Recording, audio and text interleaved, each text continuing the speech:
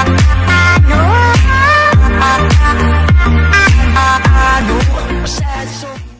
guys, it's Phoenix. I'm at work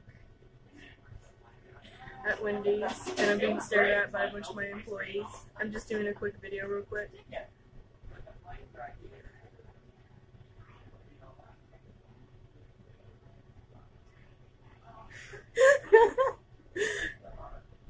You don't know how many employees are staring at me.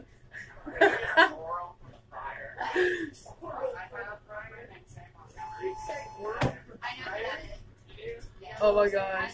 Stop.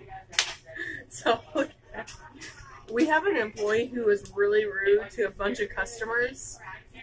Um, like, I was doing fries today, and we have to have the headset on. And she was so rude to there, and alright, another thing I need to tell you guys about. Um, there's this YouTube channel named Duber Blogs or Duber Vlogs. I don't know, but they got good content. You guys should go check them out.